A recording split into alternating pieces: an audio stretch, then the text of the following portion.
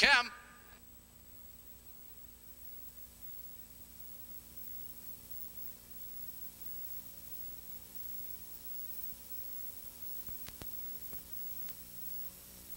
Drifted in, followed now by Bar Mary Divine.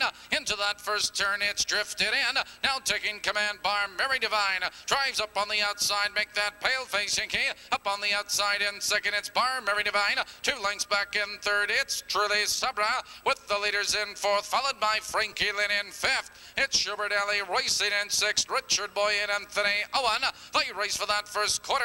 Your leader is drifted in now. Pale Face Yankee is driving from second. Pale Face Yankee now takes command. They're by the quarter 30 and 4. Paleface Yankee is your leader a length. It's drifted in. Right there in second now by six lengths. It's Bar Mary Divine. In third a length. Truly Sabre right with the leaders in fourth. Then comes Frankie Lynn. Five lengths back in fifth. And Schubert Alley Into the stretches. They race for the half. It's Paleface Yankee in command a length. Drifted in. In second now by two and a half lengths. Bar Mary Divine. Right there in third a length and a quarter. Truly Sabra in fourth, Frankie Lynn, Schubert Alley's there, Richard Boy, and Anthony Owen.